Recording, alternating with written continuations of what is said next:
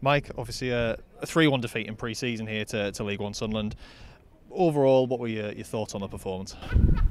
I thought there was a lot of positives. Um, we obviously had a few trialists in that have done very well. Uh, really impressed. And I thought first off, yeah, we matched them. They, they obviously had the, the lion's share of the possession, but in terms of uh, clear-cut chances, I thought we had the better of them. Um, but yeah, no, I thought it was a really good exercise. I thought the lads uh, responded really well, and first off, we we protected the areas of the pitch that we needed to, um, and on the ball, I think probably a handful of times. Um, what made the difference was our decision making. There's a couple of times where we could have played the simple pass, and we've tried to to cut through their defence too quickly and give the ball away cheaply, um, and that might have been the difference. You see, it was a, a very strong Sunderland side, named a lot of first team players here, and you you know contested well with them in part of the game. So was that pleasing for you to see that you've got that in your locker to like say, contest with a League One side like Sunderland?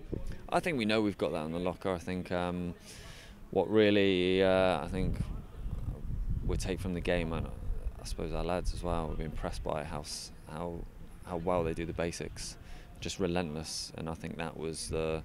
Um, that was a big factor in today. You could see from, from the first whistle, regardless of whether they were on top, they had possession, or you know they were pressing the basics, the fundamentals, and then you see you know, players like Max Power coming on and just dictating play, tempo, keeping everyone's levels high, and that, that level of professionalism. You know, I really enjoy watching that. So um, yeah, it was like I say, a really good run out, loads of positive things, but a lot of things to work on.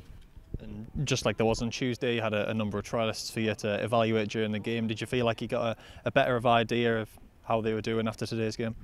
Yeah, of course. They, you know, a few of them. We had a lad who's just come in today, which is it's difficult, you know, but um, like to see more of them. But yeah, the lads that have been with us over the last week or so, um, yeah, have really impressed us. So we're going to be touching base with them this week and um, looking uh, looking forward to coming back after the break and unfortunately, of course, early on, JJ was forced off with a bit of an injury, which definitely isn't what you want to see in pre-season. But do you have any kind of idea on, on how he's doing and whether that's a serious thing or just something minor? Yeah, well, I think it's a knock, so hopefully we'll see how it settles down in the next 48 hours. But I think um, knowing it's just a knock, it should settle, and he'll be all right for when we return.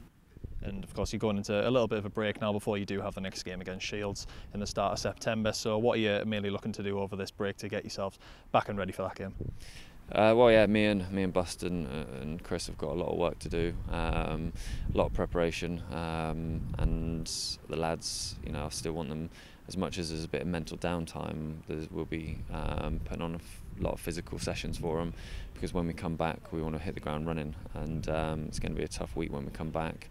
So yeah, there's still you know loads to work on, um, but you know the lads have earned a, a, good break and say a bit of downtime, and everyone's looking forward to uh, to that.